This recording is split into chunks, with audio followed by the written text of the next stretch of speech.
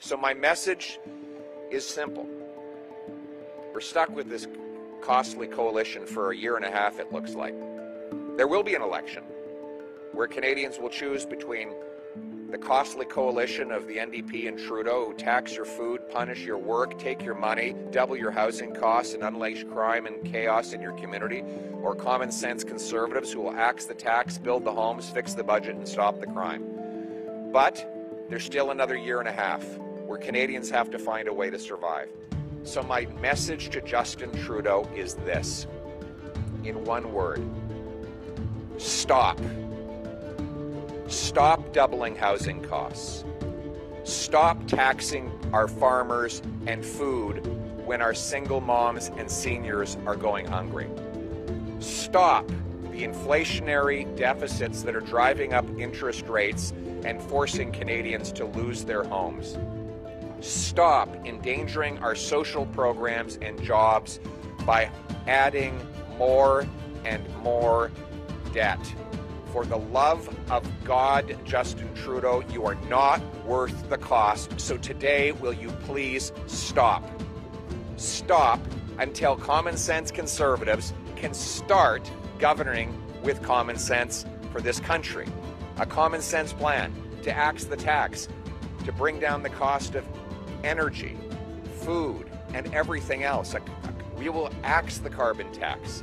That will make our businesses more competitive, our wages higher, our food more affordable. We'll cut income tax so hard work pays off. We'll fix the budget by bringing in a common sense dollar for dollar law that requires that we find $1 of savings for every new dollar of spending while we slash the waste and reduce the burden on the backs of Canadians. A smaller government with bigger citizens. We will build the homes by requiring municipalities permit 15% more home building as a condition of getting federal funds and that they permit high density housing around every transit station. We'll sell off 6,000 federal buildings and thousands of acres of federal land to build, build, build. We'll take the carbon tax off so that building materials are more affordable. And we'll stop the crime with jail, not bail, for repeat violent offenders, with treatment, not more drugs, for people addicted, and with stronger borders and secure ports to stop the criminals from taking our stolen cars out and bringing drugs and guns in, all while we respect lawful licensed firearms owners. This is the common sense future that we can look forward to. The good news is life wasn't like this before Justin Trudeau, and it won't be like this after he's gone.